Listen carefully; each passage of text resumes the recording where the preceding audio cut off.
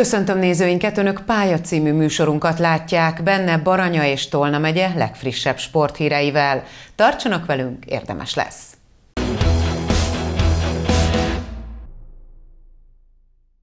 Egy rendhagyó szezon rendhagyó díjátadóját tartotta a Baranya megyei Kosárlabda Szövetség. A megye legjobbjainak elismerésére immár 30. alkalommal került sor. A szövetség döntése mellett most is lehetőség volt a sportbarátoknak is szavazni. Idén 2366 szavazat érkezett. Az ünnepségen 14 év legjobbja díjat, valamint 6 külön díjat adtak át. A Magyar Kosárlabdázók Országos Szövetségének Baranya megyei szervezeti egysége idén is megrendezte szavazását a megye legjobb játékosaira, edzőire és játékvezetőjére. Felnőtt profi női játékos kategóriában Vencel Nóra, a Peac Pécs kosárlabdázója kapta a legtöbb szavazatot. Felnőtt profi férfi játékos kategóriában pedig Andrea Csirics vehette át a díjat, aki jelenleg a PVSK Veolia csapatának másodedzője. Rajtuk kívül még további 12 év legjobbja díjat osztott ki a szövetség. A hat külön díjas között pedig dr. Rádgéber László kosárlabda mesteredző a Baranya megye sportvezetőjének díját vehette át. Ez két dolog miatt vagyok különösen boldog. Az egyik az, hogy ez az a polihisztor bizonyítja bennem, hogy azért ott a 2000-es években, amikor beindítottuk ezt a díjkiosztást, azért ott van egy rakás, majd fel is vesszük a Baranyam a legjobb edzője, aztán szóltam a, a főtőzi vezessük be, hogy legyen legalább férfi meg női, mert ugye elég unalmas volt minden évben jöttni, és már megkaptuk azt a díjat, és akkor lett férfi-női, akkor lett legjobb játékos, és örülök, hogy ennek a, a díjkiosztásnak az egyik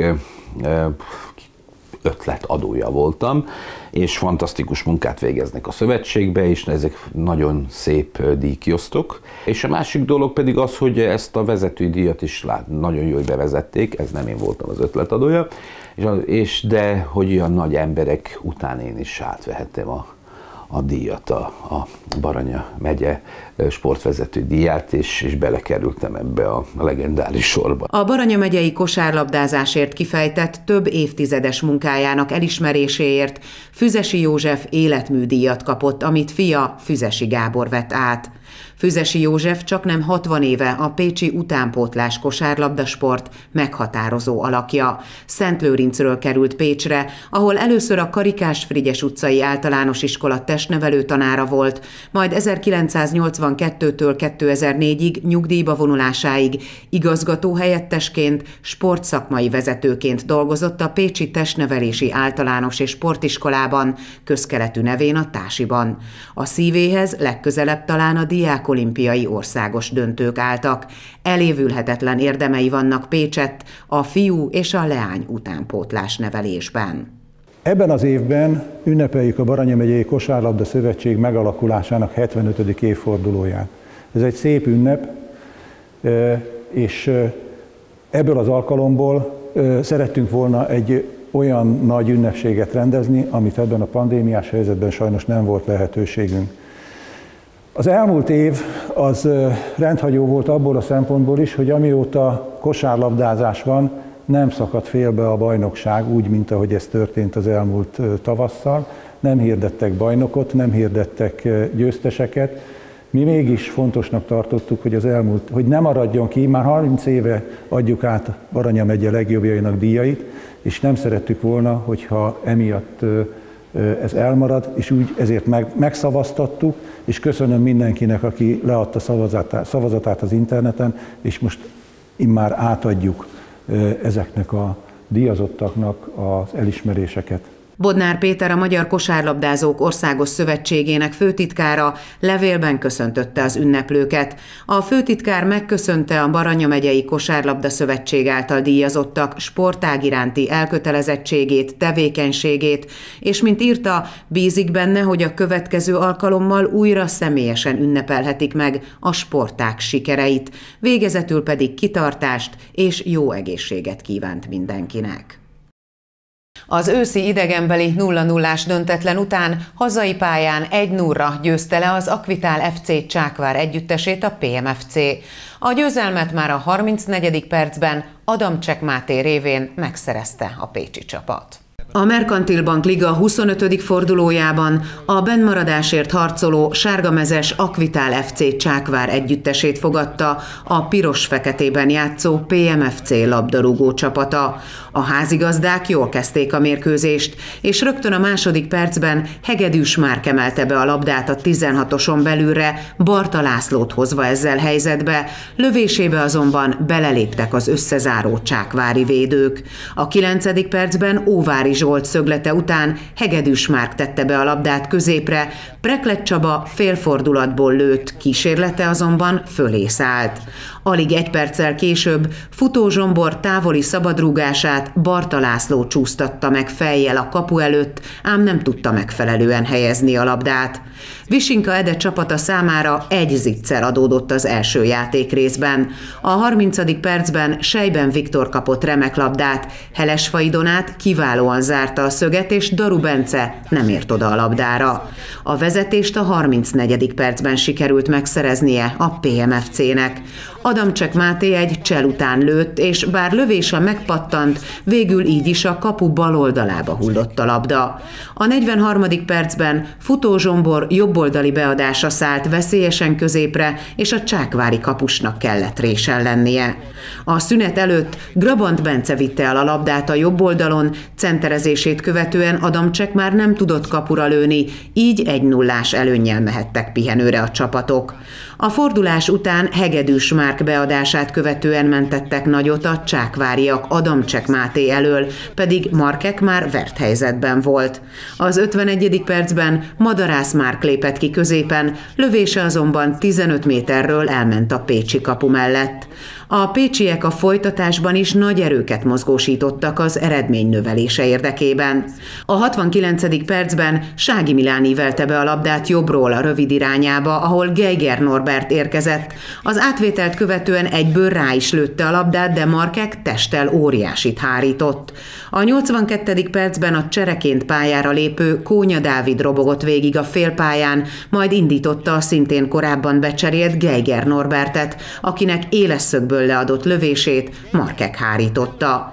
Egy perccel a rendes játékidő vége előtt Geiger Norbertet buktatták a csákváriak 16-osán belül.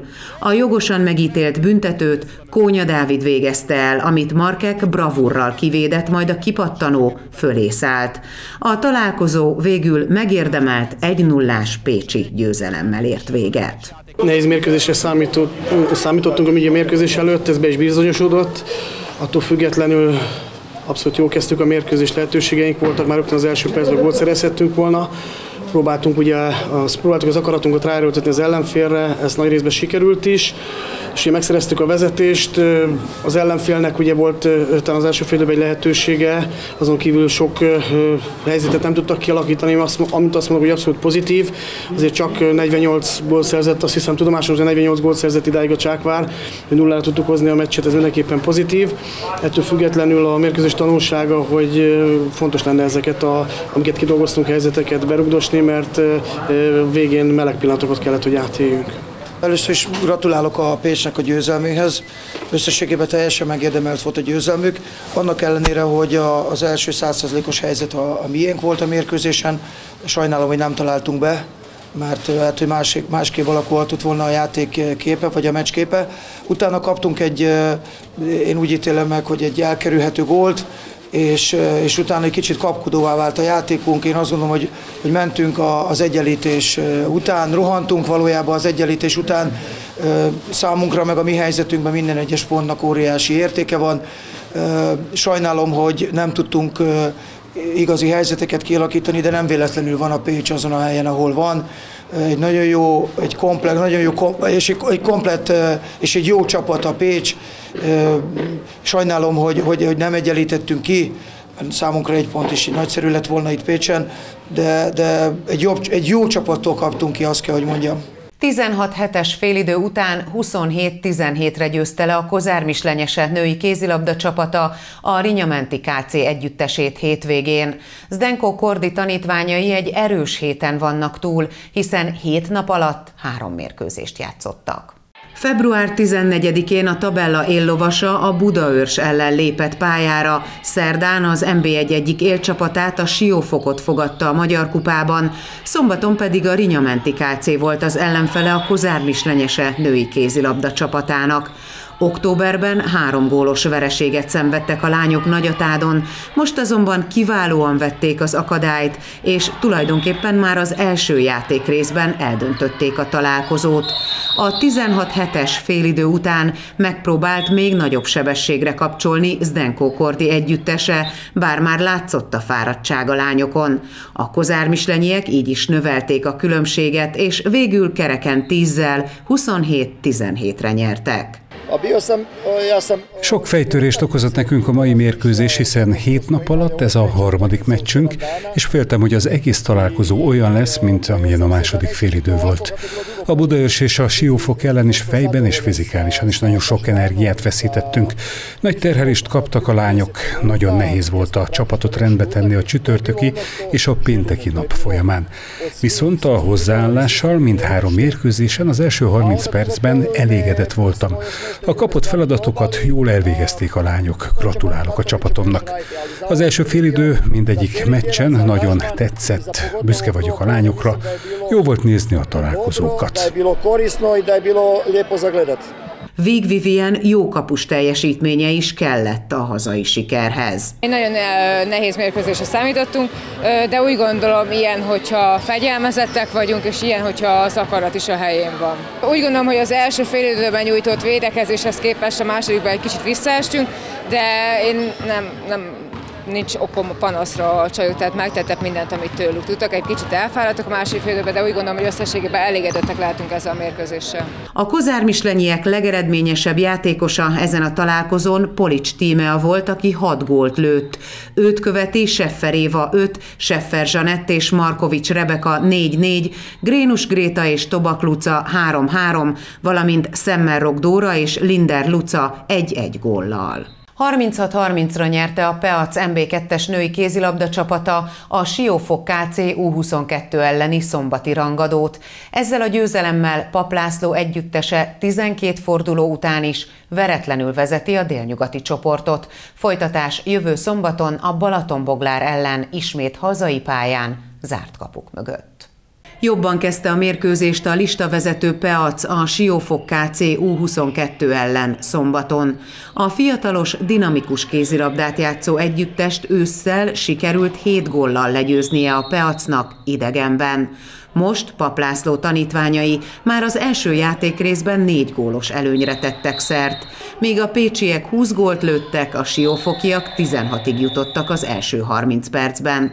A szünetről is jobban jött vissza a Peac csapata, és már 10 is volt közte, amikor a végjátékra összeszedte magát a siófok, de csak közelebb tudtak kerülni a házigazdákhoz.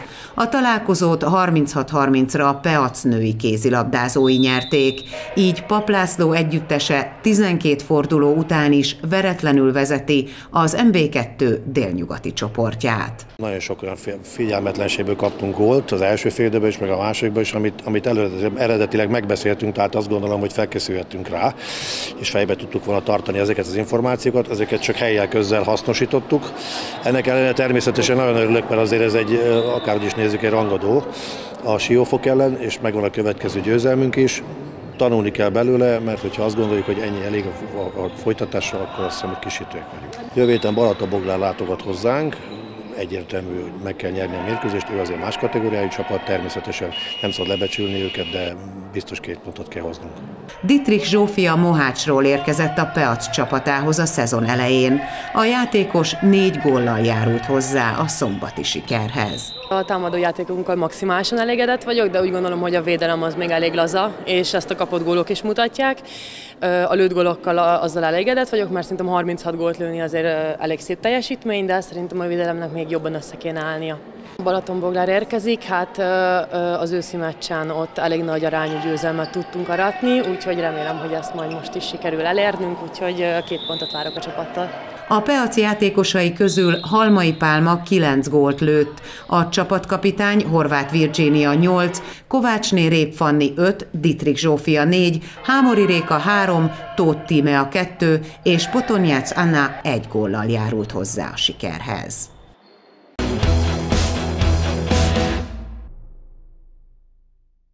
Tolna megye a női futszál egyik fellegvára. A Magyarországon létező 20 MB-s csapat közül három ide köthető.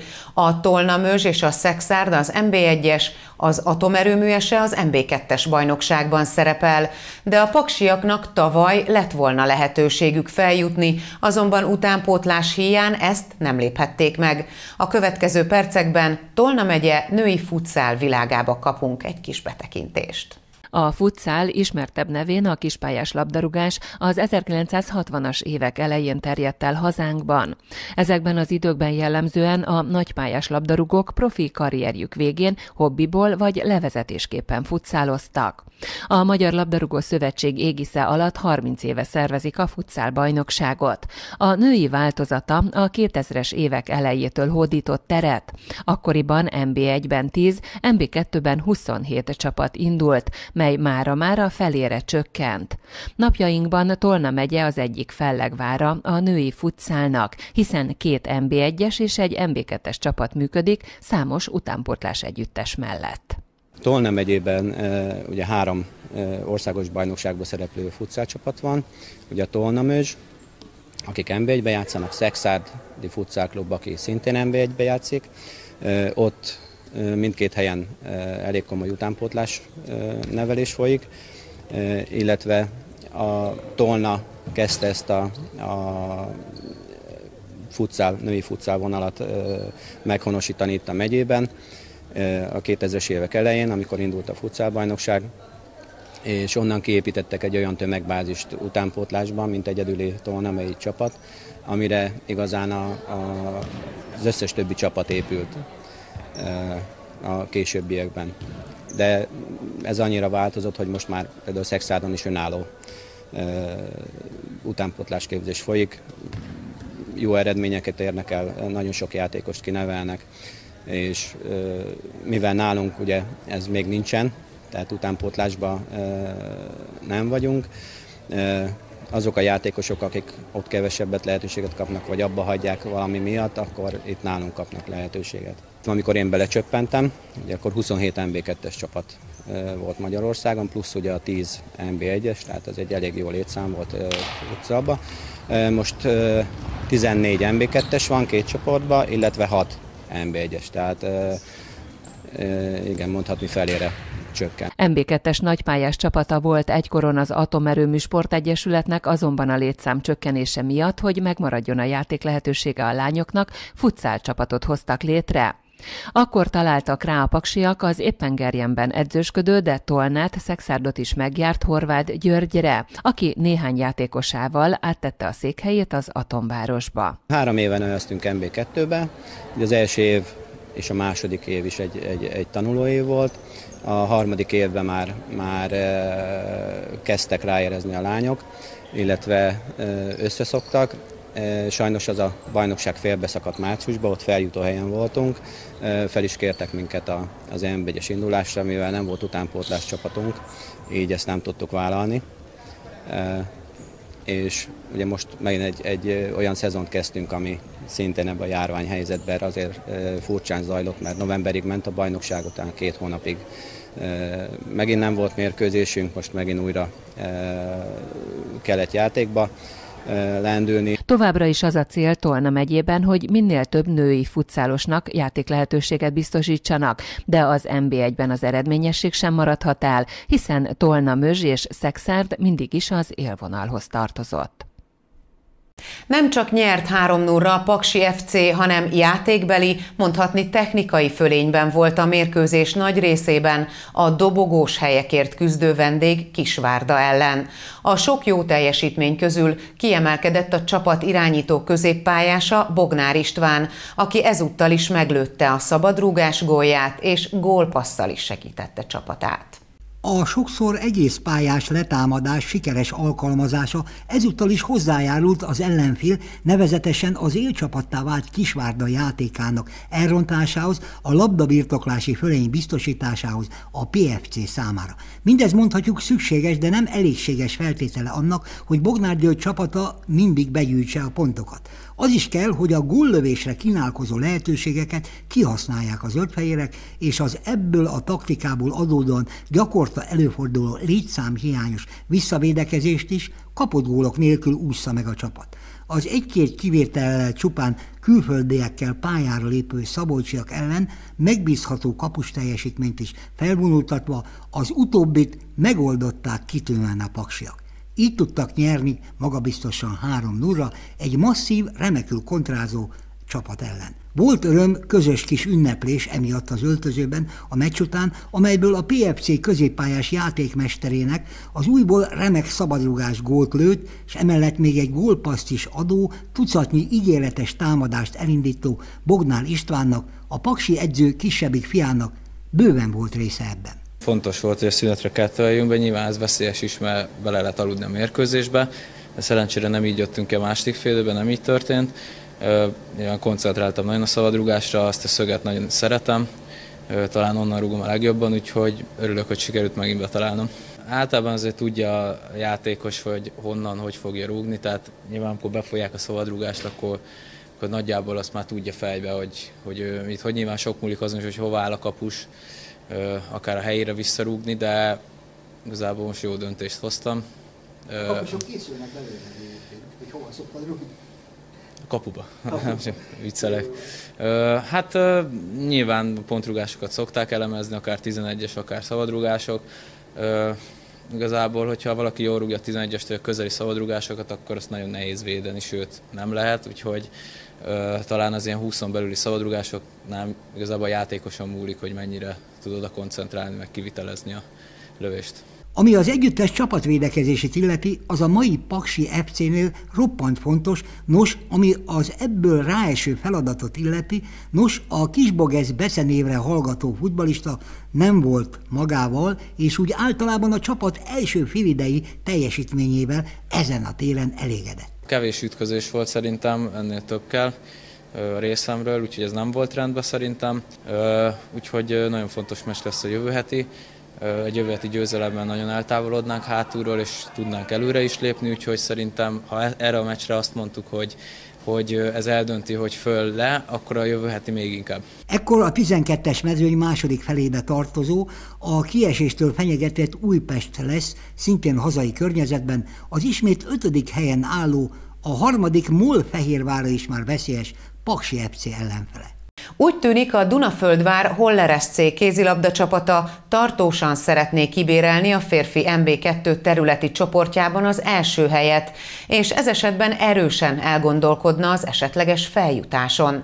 Egy remek felkészülés után két új játékossal megerősödve meglepő könnyedséggel győztek Törő Szabolcsék a negyedik helyen álló dobogóra felkapaszkodni akaró Mecseknádast ellen. Ősszel a baranyaiak otthonában döntetlen született a két csapat mérkőzésén.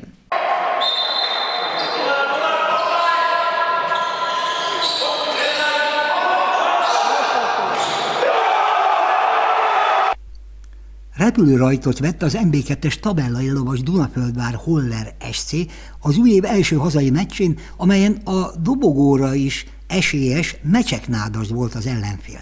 Nem látszott meg egyáltalán a leállás, a kényszerszünet okozta kiagyás Törő Szabolcs sokra hivatott csapatán, amelyben két újonnan igazolt, igen fiatal játékos is helyet kapott, mindketten a közeli Dunaújvárosból, illetve Kalocsáról érkeztek. Igen, ők fiatalok, még csak 17 évesek, de nagyon-nagyon tehetségesek, és idővel már bízom benne, hogy a sok munkával nem ezen a szinten fognak kézlabdázni. Mindkettőt bevezette az edző, velük jól láthatóan még lendületesebb lett a földvár, amely már az első félidőben irányította a mérkőzést. Nem csak lerohanta a baranyaiakat, hanem felállt védelem elleni játékban is megtalálta a rést igazi gólpasszokkal a fizikálisan remek ellenfél zárt védekezésében. Szünet után a félidőbeli hatról duplájára növelte előnyét a hazai csapat, amely Törő Szabolcs földvári edző szerint az ellenfélre adaptált, jól alkalmazott taktikájuk miatt alakulhatott ki 13 gólos különbség is. A második játékrész közepére ez alapvetően eldöntötte a meccset. Annak ellenére, hogy két játékosuk majd egy hónapot is kihagyott sérülés miatt, jól sikerült a pandémia alatt is a felkészülésük. A csapat egyik rutinos játékosa szerint még egységesebb lett a játékok, sőt, ami a támadó játékot illeti, taktikailag előreléptek. Mindenki hozzátette a maga apró pici jó dolgát, ebbe a hibák is belefértek, mert vagy elől, vagy hátul azokat ki tudtuk javítani. Ehhez nyilván kellett egy nagyon jó kapus teljesítmény hátul, ami nyilván a nagyon jó védekezésnek is köszönhető volt, hogy belekényszerítettük őket abba, amit, amit mi szerettünk volna, hogy lőjenek, illetve ahonnan lőjenek, illetve ahogy rámenjenek a falra. Megvannak a régi mozgásaink, inkább azt mondanám, hogy tudunk lépni egyről a kettőre. Szeptember-októberben az első részét tudtuk játszani, most már eljutottunk oda, hogy a második, illetve a harmadik részét is, tehát a további játékaink is megvannak ebből, nem esünk pánikba, hogyha nem sikerül elsőre megoldani, utána is próbáljuk szépen építeni, hogy utána mit, hogy szeretnénk játszani ebben, és ez egyre jobban kezd összeállni, úgy, úgy érzem. Nincs kötelező elvárásként kimondva a bajnoki cím megszerzése a Dunaföldvári kézisek számára de ezzel lennének igazándiból a tudat alattiukban elégedettek. Önök Pálya című sportmagazinunkat látták. Köszönöm figyelmüket, viszontlátásra!